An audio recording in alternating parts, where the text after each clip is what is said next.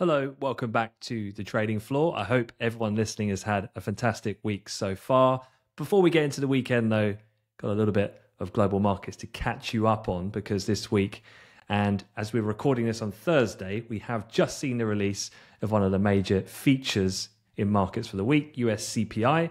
So we'll unpack that, have a look at going beyond the headline, look at what does this mean in context of some jobs data that came alongside that inflation report with initial jobless claims?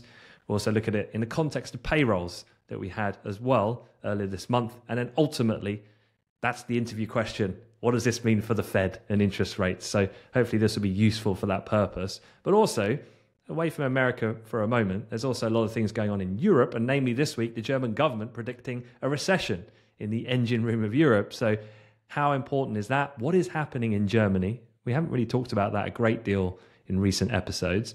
But what does that also mean for the market's perception of what Europe are going to do with interest rates? And so that's going to be the main focal point of the discussion today. But before we kick off, Piers, Rafa Nadal has retired. I feel slightly, I don't know, I feel really sad. I don't know what it is. I just, I feel more sad with Nadal than Federer or Murray. I can't quite put my finger on that. Yeah, I mean, it's well, it's I guess it's one of the least surprising developments in sport. I mean, it's been coming, been injured a lot, but yeah, that's like it's like two. Well, you put Murray in there, but really, you got the three big giants of of men's tennis, um, with obviously adding in Novak. Um, so there's only one of them left. Um, last man standing. He he's your favourite though, right? Novak he, he is the GOAT. I'd just like to say, as an analyst looking objectively at the numbers, he is the GOAT. Let's be, yeah, let's be but, frank here. Yeah, but come on, just, just step outside the numbers for a sec, and you know, go with your go with your gut. You know, who, who's the, okay. who do you like the most? Tim Henman. uh, let's move on before this gets any worse. Okay, this could get out of hand. So, okay, so let's talk about U- US headline inflation. I guess the easiest way to kind of sum up the numbers is everything came in 0.1 higher than expected. So the headline year on year 2.4% versus expected 2.3. Core reading also 0.1 higher than expected. But as always, Piers, with inflation, there's always more to it than just that superficial reading, right? Yeah, exactly. And I, I guess so you, there's really two, two, two, two readings here of note, right? There's the, the headline CPI, which is just looking at on average how the prices of all the goods in the system has has changed okay? And then there's the core cpi so that's where they take out the more volatile items of food and energy and it's just whatever's left x food and energy right? So for that headline one where everything's in there yeah it was higher than expected but the at least it was lower than August. So in September, the reading is 2.4%, which is higher than the expected 2.3, but it's lower than August's 2.5. So I guess the trend is key. And this adds another, it's like the seventh uh, inflation reading in a row where the headline inflation print has dropped. So that downward trend is still going. Okay. Now, the same can't be said for the other number, which is the core reading. When you take out that food and energy situation, that was also 0.1 higher than expected. Um, we were expecting 3.2, but it's 3.3%. But here, the significant thing is that's the first reading in 12 months where the number is gone up compared to the month before, right? So you've seen a little tick higher. So, from a trend perspective, that core reading's like, ooh, okay, that's not particularly um, helpful when it comes to all the things associated with inflation, which are, I mean, not, you know, obviously the cost of living crisis and all the rest of it, but, you know, for markets, it's about the Fed and, and are they going to cut and how quickly are they going to cut rates? And this isn't what the Fed particularly wanted to see. Was was there anything obvious that's resulting in that core move up then? That you mentioned? Well, so it's yes, and so here and again, it's a bit worrying. So costs rose sharply for services, less energy services. So that went up 4.7%. And then in amongst that, um, you had shelter costs, which went up 4.9%. You had transportation costs that were up 8.5 actually. So those were the kind of things that that kind of led this to the upside. And these are the these are the stuff the Fed are looking at, you know, when it comes to that like consumer driven inflationary scenario, which is the the part that they're most worried about. Um, so yeah, I, would say this isn't a report the Fed are going to like. Um, I think it will reduce their ability to cut rates fast. And, you know, we got two Fed meetings left this year, right? So we got one in November and one in December. And, and really the, the kind of the, the, the prediction game that's going on across trading floors at the moment is right. Well, how many how how many cuts are we going to get before the end of the year? And I think this report, again, uh, kind of adds to that non-farm payrolls report last week, where it's basically telling the Fed, look, this economy's strong. Inflation actually, there's a risk it might actually go back up. You can't cut rates aggressively here at this moment. And so I'd say we're a shoe in for a 25 basis point cut in November, and then maybe a cut in December, or maybe not. Uh, uh and actually, to kind of back that point up, one of the Fed members, um, the San Francisco Fed President Mary Daly, she spoke yesterday, and she kind of, I guess, just open the door a little bit to the idea they're only going to cut once more this year. So you got a bit of Fed hawkishness perhaps creeping in here, given the non farm payrolls data super strong last week, and this core inflation just ticking higher. Yeah, and as a bit of a reference point in terms of the composition of the Federal Open Market Committee, so Mary Daly is a voter, so what she says matters, and she tends to sit relatively centre of that that kind of spectrum of hawks to doves. And when the centre speak and give some clues, that's meaningful because it probably means the consensus is shifting amongst that board discussion. So yeah, that's a good observation. But a couple of other points here with the CPI report, sticking with that first. And then let's talk as well, because offline you spoke to me about how payrolls perceptions might have changed since that data report has come out. So, going with the former first, applications for US unemployment benefits rose last week to the highest in over a year. Uh, that number was up 33,000, 258,000 above 230, which in itself is pretty pretty meaningful leap.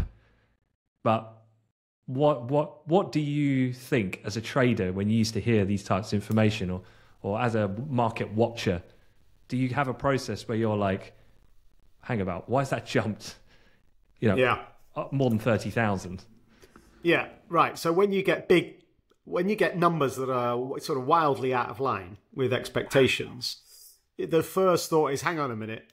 You know why? What's happened? Is there some sort of sort of particular one-off circumstance that might have led to this, which which and and uh, you know does that sort of dilute the importance of this kind of big blip?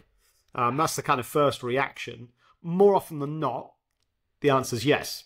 There is a uh, a one-off situation that's led to this, and and and it's the hurricane, um, which has been kind of smashing into Florida over the last well, the two hurricanes, I really should say and you know the the chaos and the kind of destruction this has caused um, obviously is really bad for uh, all the people involved but you know when you think about it from an economic point of view you know you can't go to work at the restaurant if the restaurant's been blown away so this is where they're going down to the uh, the job center and, and signing in so that as a trader then you would just discount this and look for, and I know with jobless claims, initial benefits, these sorts of things, continuing claims, it's always a four week average that people look at. So for any students out there, unlike say CPI, which is a monthly release in terms of the frequency, with initial jobless claims, it's weekly. But actually, when you see that data set on your terminal screen, you see below it a four week average of which people tend to lock in on. So the more frequent the data set, the more you need to see a pattern is, is the general rule of thumb. But okay, so that's that. What about payrolls though? You did mention to me that there's been a few more kind of chewing over the bones a bit of that report, and maybe not quite was what we thought initially. Yeah, well, you, got. I'll caveat this before I explain the point. You know, there's with all this data, especially with like labor market data and payrolls data. There's there's so many different little elements of it that depending on your view or depending on your positioning in the markets, you know, your bias is always going to be, you know, picking out the elements of the report that kind of suit your positioning, right? So there's always people that are poring over these numbers and picking out one particular viewpoint. So there's a certain amount of that in what I'm about to say, but it's still worth saying. Um, and the point is that that big payrolls report last week that was way higher than expected, um, it actually turns out there were a hell of a lot of, uh, well, actually, a quite an outsized proportion of those jobs being created were government jobs. So actually, the figure that I've seen is that there were 785,000 new government jobs. Um, and that's actually the second largest monthly increase on record, apparently. Um, now, the thing about that is that made up 85% of the increase in the total payrolls number last week. And it actually puts the government workers, the total number of government workers has hit 22.2 million, which in itself is a record ever number. And I guess all they're saying is if you took out those government numbers, and you know, we have an election coming up, and you know, a nice healthy payrolls number is always good for the team sitting in the White House. You know, I'm not trying to put forward any conspiracy theories here, but um, the report I read was basically saying, look, if you took those government jobs out of the equation, the unemployment rate, which remember ticked down, it went from 4.2% down to 4.1%, which was wow, amazing. If you took the government jobs out, it would actually gone up to a whopping 4.5%. Um, so there's just a caveat still hanging over that really strong payrolls number last week. That caveat being, hold up, hell of a lot of those are government jobs. And, you know, the government adding jobs at that rate isn't sustainable. And so it may well have lended a short term blip higher in that one month of September, and we might now see October, de- November, December numbers maybe start to wind back lower as that government element comes out of the equation. Yeah, I know you've been hanging out with your boy Trump again here. I was going to say we need to explore this this theory a little more. I mean, I like I like the idea of juicing the numbers ahead of. Uh, they've only got to juice them for like one more round and then it's job done. Or actually, this is the final round, right? Because probably will, the election will come just before that first Friday, maybe. So yeah, that's a that's a good question because the next payrolls number will be yeah. Actually, you're right. It'll be November. Uh, sorry, November. Well, no, is it November the first? Because that's a Friday. It might we might get payrolls on November the first. Sometimes, if the Friday is the first day of the month, sometimes they bump it to the eighth of the month. Sometimes they don't. Uh, I'm actually I haven't I haven't looked, so I don't know if there is one more payrolls report or not yet pre-election. The election's going to be on the seventh of November, uh, the Thursday. Yeah. Okay. Well, look before we go down that rabbit hole, let let's um, well to to wrap it up then. So to surmise, am I right in saying the gov- the market reaction to the CPI report has been relatively tame? Um, you could say. I mean, from a asset class correlation, yields are a little lower, stocks a little softer. So, first, explain to me just why that's occurred. But ultimately, does this change the game or not? What well, we've seen. Yeah, market reaction is muted. And I, would say, well, it's muted particularly in the currency markets. And we're going to come on to talk a bit, a bit more about this in the second half of this episode. Um, but the dollar's been really strong. And that's because, well, the payrolls number was really strong last week, and now people are, you know, reducing their rate cut expectations from the Fed as a result, right? And this data today is just more of the same stuff. So the dollar has already strengthened, if you like. Um, and so you're not seeing too much action on the dollar side. But look, you're seeing stocks have slipped lower. Uh, not a huge amount, but there's been a blip lower on things like the S&P and the Nasdaq and so on. Uh, from a commodities perspective, gold's gone up, um, T notes have gone up, and so it's all. This is all what you might call a a hawkish sort of market reaction, where it's just further lowering rate cut expectations. But it's it's it's it's mildish, and because we've already been moving in this direction for the last week or so anyway. Okay, well look, let's let's hop over the pond and talk a little about Europe. And yeah, good to get your take on Germany. In the newsletter we put out daily, every weekday, the market maker. Um, I've done two modules about Germany this week. And I think at the beginning of the week, it was German industrial production rose 2.9% in August, recovering from a decline the previous month, providing some optimism for stabilization. And amid these ongoing recession concerns, two days later, the German government has revised its GDP forecast to a contraction for this year to 0.2%, following last year's 0.3% decline, marking only the second consecutive GDP shrinkage since reunification in 1990. So, one was this is the same press publication talking one way and then the other. Was what am I missing here? well, you're well. The point is, you've got two different journalists probably sat the opposite side of the room, um, and you've got an editor who probably hasn't spent enough time looking at what his staff are putting out. And so you've got one journalist who's looking short term and wow, industrial production. Ah, great number. Cool. That's a that's a headline that'll get some clicks. Perfect. Let's write about it. Um, but that's short term, right? And all these month on month data points, you know, they can be choppy and volatile. You know, one month doesn't make a trend, as they say. And so, whilst, yes, all right, the industrial production number was strong, I don't think that necessarily you can't you can't read too much into that from the point of view of a medium to long term kind of view on where the German economy is heading. Um, so that's what I would say, and I, I would say the more important article is the other one talking about yeah how well the Germans are in trouble. Um, and you know the stat I had was it's the first yeah first two year recession. So if you're looking at yeah so their their economy contracted in 2023 overall in that whole 12 month period. And now it looks like it's going to contract again in 2024. And that's the first time since the early 2000s that they've had a kind of two year. So you can, I mean, it's not a deep recession, but it's the longest recession, you know, since before the financial crisis, which is quite remarkable. But look, they're just in a bit of a malaise, I would say. Um, and, you know, this is quite interesting if you go back to the 1980s, now, when were you born?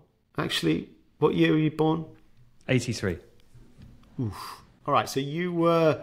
When was Soros's? Um, when did Soros break the Bank of England? I think that might have been 82, I want to say. You might have to fact check that. But look, back in the 80s, um, the UK got tagged with this label, which was the UK are the sick man of Europe. And what that was all about was how the UK economy was in a malaise and ultimately underperforming the rest of Europe. And there were real problems, short term, long term, structural issues. And it was, you know, depressing. And, and, and in the end, the UK embarrassingly had to come out of the uh, European exchange rate mechanism and the value of the pound collapsed. And Soros made a billion betting against the pound, right? That was back in the 80s. You kind of got the opposite here in the in the 2020s because basically I'm going to label it Germany are the sick man in Europe here, um, and that, and for a number of reasons, their recovery post COVID has been shocking compared to the rest of Europe. The problem is that Germany are the biggest economy in Europe. They're the third biggest economy on the planet, right? And for Europe and the Eurozone particularly, we've always been used to Germany being the absolute engine room of that economic region um, and is driving everything, right? But since COVID, it's kind of just the engine stalled. And it's quite remarkable the, the performance difference. So if you take from quarter four 2021, if we call that the end of COVID, right? Germany's economy is flat, hasn't grown at all. You know, we're getting on nearly four years, uh, sorry, three years now for that time period. No growth at all, right? If you take the Eurozone X Germany, it's up three and a half percent. So Germany is is along with yeah, Germany's pretty much the worst performing economy in Europe and has been for three years now, right? And it's incredibly unusual. It's never never been like that before. Um, so yeah, it's a real issue for Germany and for the the kind of broader continent. I don't have real time data, but I do have data from 2022, and I was just having a quick look about the top exports of Germany and trying to make sense of where the weakness is coming from. And so, number one, of course, is cars. Cars is 149 billion. Then it's packaged uh, medicaments. I don't. I guess that's medical materials. Don't ask me to say that M- again. Medi, medi what? Medicaments. I don't know what what that is. That's just uh, just made that up. That's not a word. Someone will know. Someone will lynch me on the on the pod for sure. And then the third one is motor vehicles, parts and accessories. So it's a lot about the motor vehicle industry. But yeah. I mean, I've all I've read is bearish news about Porsche, about VW. All these big names are really getting hammered recently. Well, two two key things here, right? Germany's economy is quite unusual for a large developed economy. Unusual in so much as it's it, the proportion of its GDP that's made up by manufacturing is is huge. It's actually just over 20% of German GDP is manufacturing. Now, if you compare that to other big developed economies, like the US, 10% of US GDP is manufacturing. France, its neighbour, uh, 9.7% of French GDP is manufacturing. The UK is even less at 8.2. But if you think about China, everyone thinks, oh, yeah, manufacturing exporter, you know, much more sort of de- developing economy rather than developed. But China, it's only 26.1% of GDP that's manufacturing. So Germany's not far off China in that sense. Of course, a manufacturing uh, led economy has been more vulnerable and more exposed to both COVID, but also then the post COVID, and you might even say the Trump esque protectionism, you know, vibe that we've got in the world right now. So Germany's more sensitive and more exposed to that. Now, at the top of the list, as you've already said, is manu- is the manufacturing of automotives. And here's a crazy stat for Volkswagen, who's Germany's biggest car manufacturer. Uh, China's their single biggest market, like including Germany. China's a so 32% of Volkswagen sales is in China, right? So, what's been going on in China? Well, we talked about it a couple of weeks ago. The Chinese economy is really struggling, um, and that's been the case again since post COVID. That economy's really failed to kind of rebound, and the German car manufacturers are uber exposed um, to that. So you've you've kind of got the fact they're a manufacturing, you know, driven economy, the fact they're so exposed to China, then because of the Ukraine Russia situation, energy costs obviously went up, but Germany were way more exposed to Russian gas than any other country, right? Now, which are the energy intensive sectors or manufacturing? So it all kind of ties back in. Their, their big giant sector has been particularly hurt by you know much higher energy cost spikes than than any other kind of economy. Yeah, and that economic um, demise, if you like, there's another leg of this, which is political instability. You've had a quite a disruptive political Absolutely. domestic scene in Germany. You've got rising of more far right identity politics coming in, fueled by the economic situation, which is normally the case of why there's political change in any developed world economy. So, yeah, there's a lot, lot to unpack yeah. there. And, and, and, look, Merkel. I mean, oh, if only we had Merkel, right? Um, this is the. It's like the. Um, it's like Man United.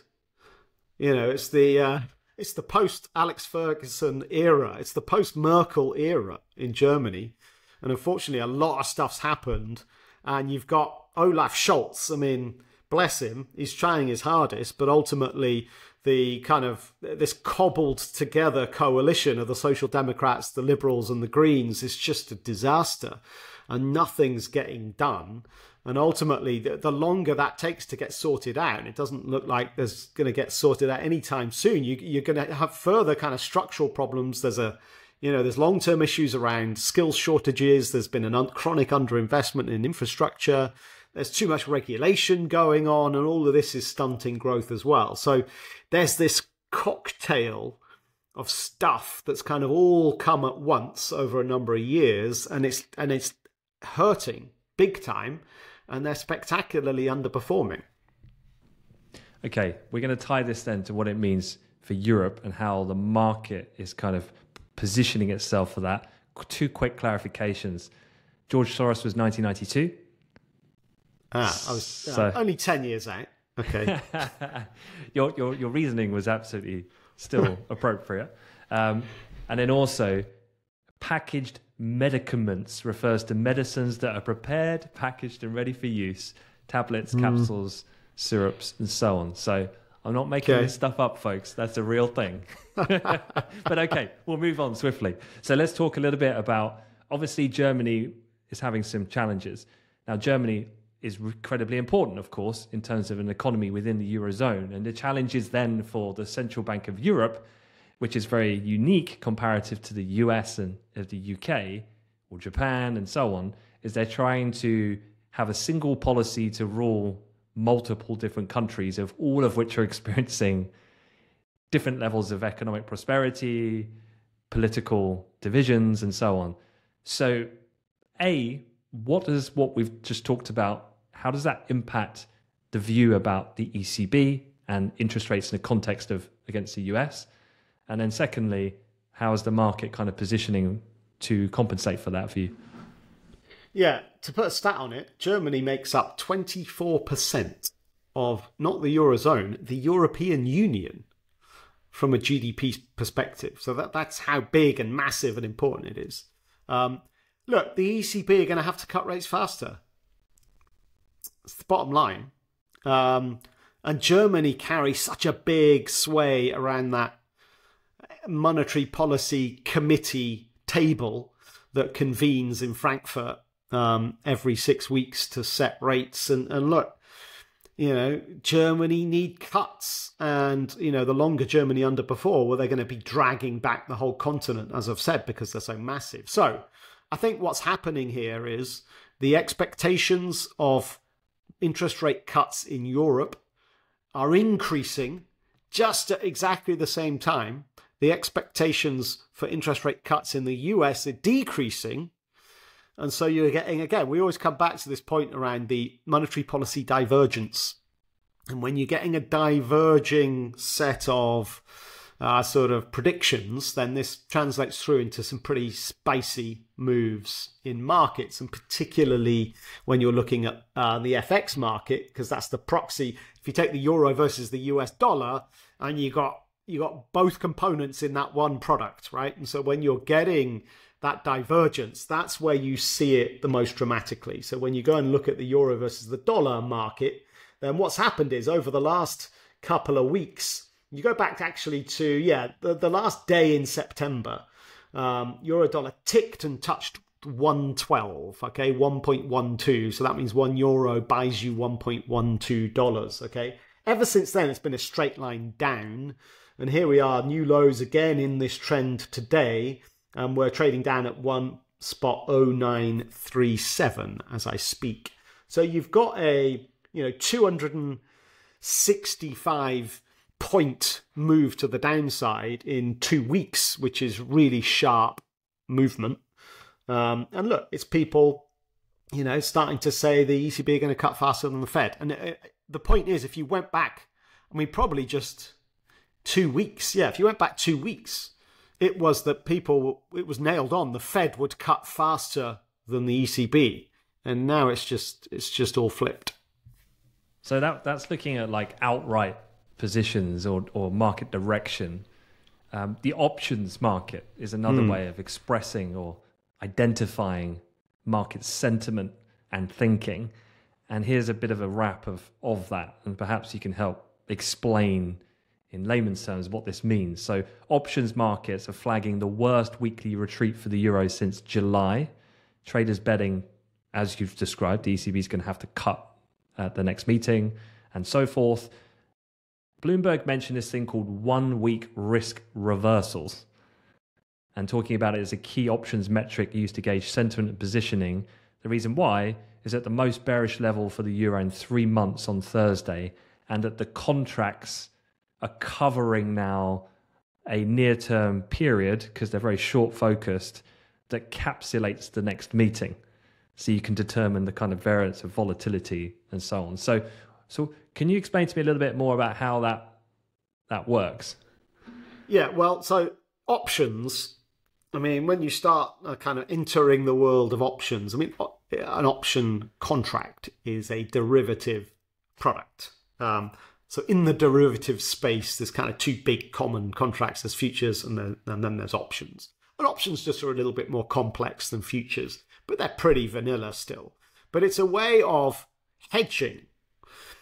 Options are used to hedge your risk. Okay, so if you are exposed to the euro. And you could be exposed to the euro in many different ways. And it doesn't actually have to be a kind of hedge fund or a. I mean, that's the obvious way if you just long the euro as a hedge fund, right? Obviously, you're exposed to the euro, but you can be exposed to the euro right across different sectors. You know, if you're a manufacturing company and you buy your components from your supplier in Italy and you pay in euros, well, then you're exposed to the value of the euro, right? Um, uh, or if you receive revenue in euros, let's say you're a manufacturer and you sell 50% of your products to French consumers, well then fine, you're you're you're very you're you're very exposed to the euro as well. So it, it can be. So if you're exposed to the euro, you're then well, hang on, what if the euro goes down in value sharply, or what happens if it goes up in value sharply? You know, these volatility swings can be really bad for certain players who are exposed to the euro. Okay, so they can hedge off for that and smooth off that that risk by using options. One of the strategies is called a risk reversal strategy, which is what you're referring to, which is just a kind of it's it's a way of using two options together. And so you would buy a put option, and that put option gives you downside protection. Okay, that means if you're long a put then the value of something drops. So if you're long a, a kind of euro dollar put and the value of the euro dollar goes down, which it is, then actually you start to profit from the move down. And that profiting from the move down, the profit you get from your options play can offset the losses you're taking from your exposure to the euro, you know, physically. Okay. Um, but to, you have to pay for that put option. You have to pay a premium Okay, and that's a fixed cost up front. Now you can. Some people are clever and they're like, well, look, I don't want to have to pay a premium to get my protection here. Can I do it in a clever way where I don't have to even pay a premium? And the answer is yes, but it comes at a different cost. So if you buy a put option, there's a premium to pay. But if you then sell a call option, then actually you receive premium, you earn premium. So basically, you sell a call option to earn the premium that pays for your put option, right? The problem, or not the problem, the cost to you then is that you do not profit if actually the euro's value goes up. So you're really restricting your upside potential uh, in order to protect you from your downside risk. That's it. Simples. so it, for for you when you were trading then, because you weren't options, you were futures trading. Would you pay any um, awareness to what the options market was doing in order to make a more robust view in the futures market? Right, absolutely. So look, when you're trading anything, well, if you're trading the euro, you could be trading it physically or you could be trading it via options, as I've just described, like swap options are a big market, or you can trade the futures. It's basically the same underlying product, the euro, but there's multiple layers of kind of clever financial instruments that get created that are based on this underlying thing. So if I'm trading futures, for sure, I'm monitoring what's going on in the options market, what's going on in the physical market, because they're all linked. And so as a futures trader, sure, you'd be definitely looking at the options volumes. And what's happened here is that you've got a, a ton of, you know, downside protection options being put on in the euro. That's just a signal that the market and the players in it, all the traders, are expecting the euro to drop in value for all of those macro reasons that we've said. And so that's just a confirmation signal that that's the direction of play. Okay, cool. Well, look, we'll, we'll wrap it up there. Um, just a final request from our dear listeners, our amazing community, which is we're getting close to 700 five star reviews on Spotify. Ooh. I would love to get to a thousand oh. by year end. And ideas in the comments section of what you'd like me to do if we get to a thousand. Can I'm I more than willing you, to put my neck on the block. For those listeners out there who, who have been with us for the whole journey, you'll remember what Ant promised. Um, was it when we hit 100 five star ratings? You promised, oh no, we had to hit 100 by year end, and I don't think we quite made it. But your promise was you'd shave your head live on the podcast, uh, and we're talking are, are wet you, shave. Here. Are you wet? are you asking me for the same same thing? So if we hit just... a thousand as a community, if everyone takes part and we push it to a thousand before December thirty first, let's go. I, I wet shave my head. Is that what we're going for? And Live. eyebrows. And eyebrows. I can't commit to the eyebrows. I'll shave my head. I'm not doing the eyebrows. All right. Well, look, there it is. Um, so yeah, if you haven't and you've made it to the end of the show and you're a regular listener, Come look, on. it Come makes on. a huge gotta... difference. We've just broken into the top ten uh, for a consistent period of weeks now for in the UK for the business podcast section. So yeah, we'd love to bump that up. Give give Steven Bartlett a run for his money. So let's do oh, this. Oh yeah. All right. Take care, everyone. See you later.